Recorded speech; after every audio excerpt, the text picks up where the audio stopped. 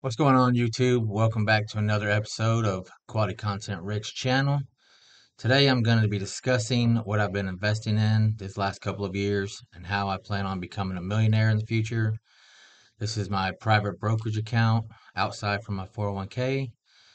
Um, currently I'm putting about $500 a week in there to automatic transfer from my bank account to the Schwab account. What you see here is not a Schwab account. This is just a, a Google Excel spreadsheet or Google spreadsheet. So I'm going to walk you through this and I'm going to show you my investments that I currently have and how long it's going to take me to be a millionaire if I continue investing $500 a week. So as you can see, it says I have $53,707. I think I have a little bit more than that. I think I didn't put some in here correctly. Um, the day's gains, $198. Annual dividend income, $1,892 or monthly $157. It varies depending on which which company is paying a dividend at that time. And so you can see the future value five years from now, dividend income is $6,461. 10 years from now, it'll be $13,000 in annual dividends. So let's go to my next page is the positions. So you can see here the positions I have and how much they're worth. So I got, I'll walk you through the positions that I currently have. ABBV. I have, uh, where's my shares at? Pause this I can get right. So I currently have 15.12 shares of ABBV. I had to slide my thing over. And the average price per share was $151. That has a dividend. We'll go through the dividends here in a minute. Amazon, I have 15 shares of that. Average cost was $112. That does not pay a dividend. I'll never buy another share uh, of anything that does not pay a dividend. Coca Cola, I have 68.52 shares at the average cost of $60.27.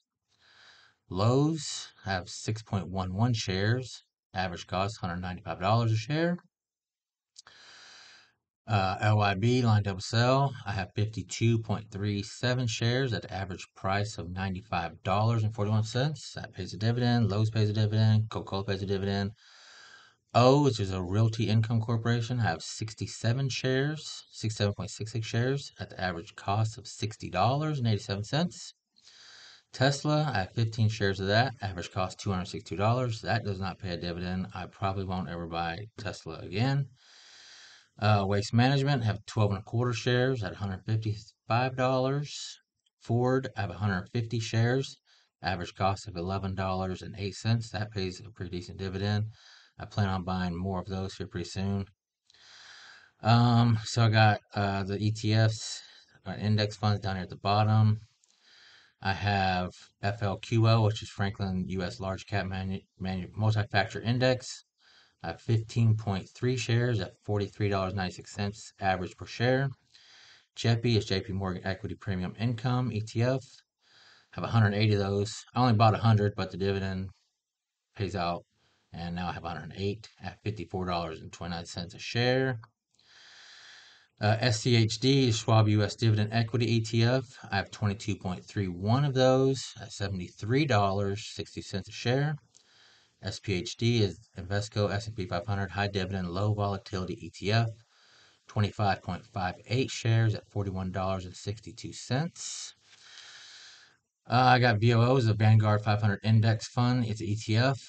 I have 37.69 shares at $379.47 average per share.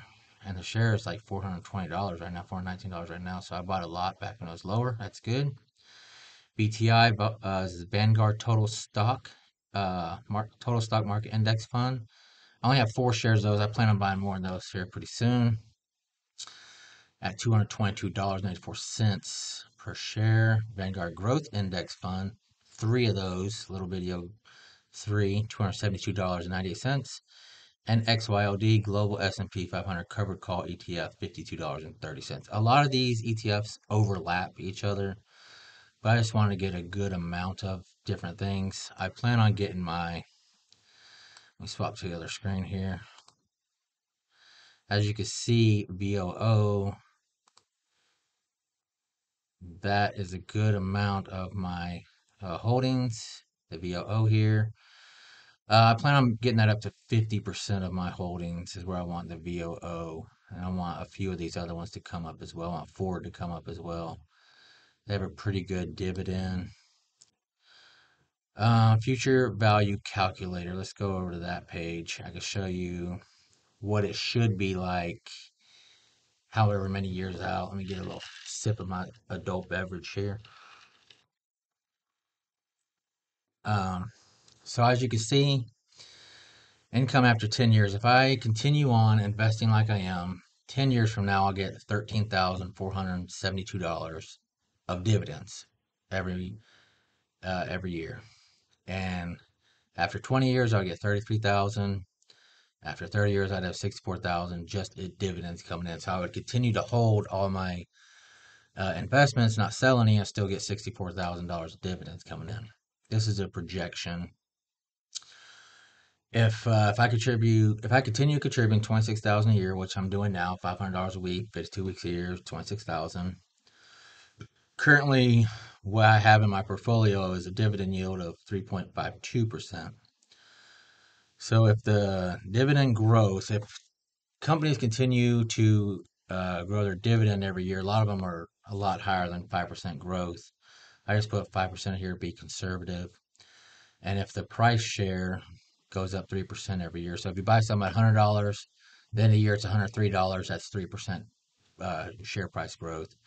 But a lot of stocks are doing better than that. So that's just, this is all hypothetical. So me scroll up here a little bit. And you can see what it'd be like after 30 years.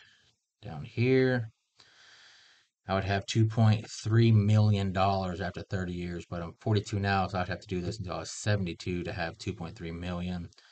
So I'd hit the million mark uh, in between the 18 and 19 years. Uh, 19 years from now would be a million dollars of holdings. So that's not bad just for a regular guy just investing. This is outside my 401k. So let me take you to my Charles Schwab account and we will see here what I'm actually, what it looks like inside the Schwab account. So these are my positions. These are all the same positions I read off to y'all a second ago. Um, as you can see, the ABBV is only 4.21% of my holdings. Amazon is 4%. Ford is 3%. Lowe's is 2.45%. LYB is seven and a quarter percent. O Realty Incor uh, REIT is seven percent.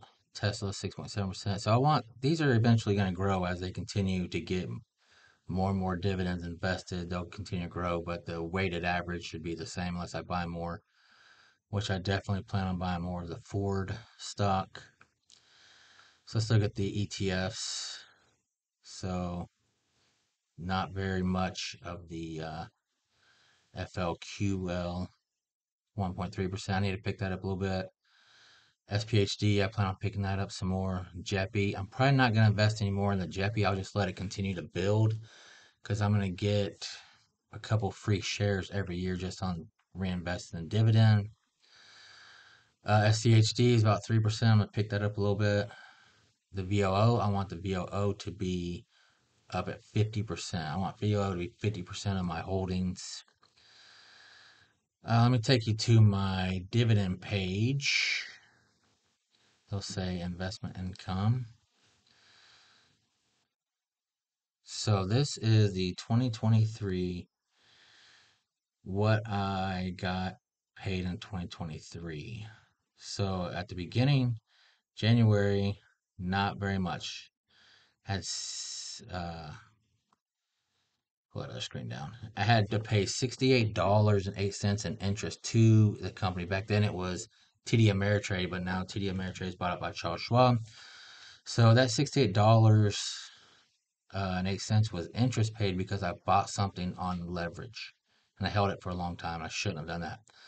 But only got ten dollars of dividends. That was January, February. I, I paid fifty five dollars in interest to the company. And I received sixty two dollars in dividends.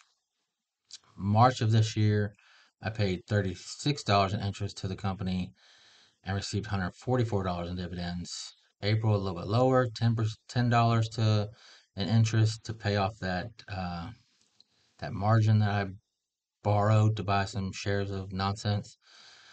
Dividends seventy eight dollars. That was a waste. I'll probably I'll ne- most likely never buy anything on margin again. Uh, May six six cents to p- finish paying off that interest. Seventy dollars in dividends. June zero interest to pay to the uh, company. I got $123 in dividends. July 23, $125.09 in dividends.